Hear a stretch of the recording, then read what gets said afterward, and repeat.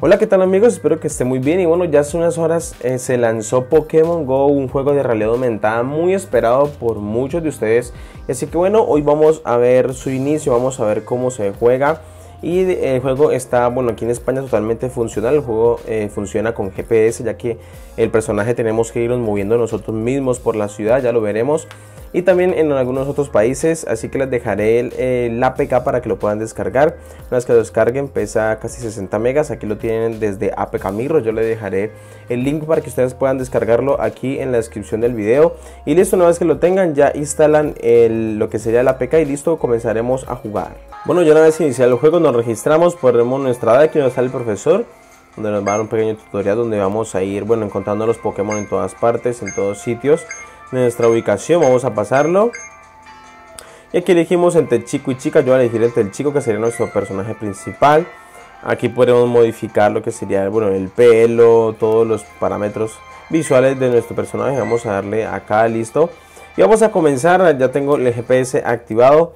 Dice, hay un Pokémon cerca, entonces vamos para acá. Tenemos que eh, coger nuestro Pokémon con los Pokéballs que nos ayudarán a capturarlo. Aquí tenemos los Pokémon cerca, esta sería mi ubicación. Vamos a empezar con el primerito de acá. Listo, y vamos a capturarlo. Dice, usa tu cámara para encontrar un Pokémon en el mundo real. Haz una prueba, bueno, genial, encendemos la cámara. Y listo, ahí como pueden ver, eh, ya está ubicado en mi PC. Y bueno, aquí en el, en el, sitio donde yo lo tengo, ¿no? Es muy chévere porque se ve bastante bacano. Y listo, vamos a intentar capturarlo. Vamos que no se mueva y toma, le pegamos y lo capturamos.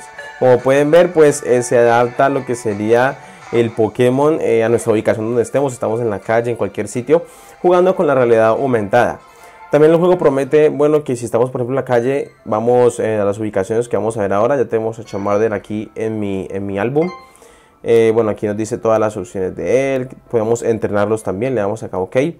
Y listo, entonces aquí bueno, nos da una pequeña ubicación de que, por ejemplo, al tener el GPS activado, el juego nos obliga, por ejemplo, a salir a las ubicaciones. Por ejemplo, acá en mi ciudad, vamos a ver qué ubicación tenemos acá. Aquí tenemos el Rollo del Sol. Eso es una ubicación que queda por aquí por mi ciudad. Vamos a ver cuál es.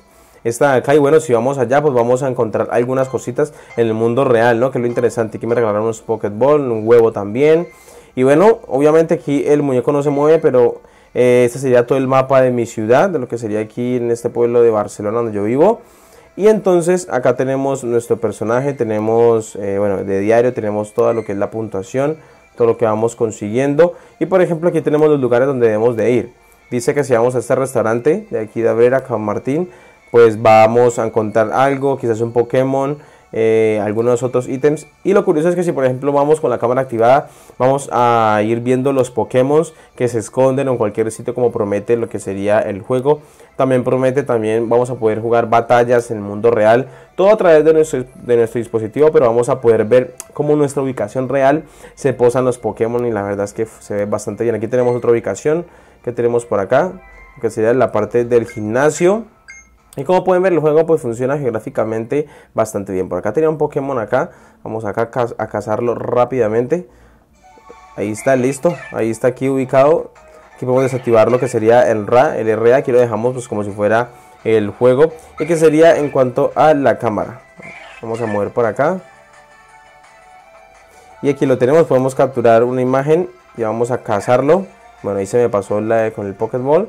Y pueden ver que es bastante curioso, pues como si aquí realmente estuviera, ¿no? Obviamente no está.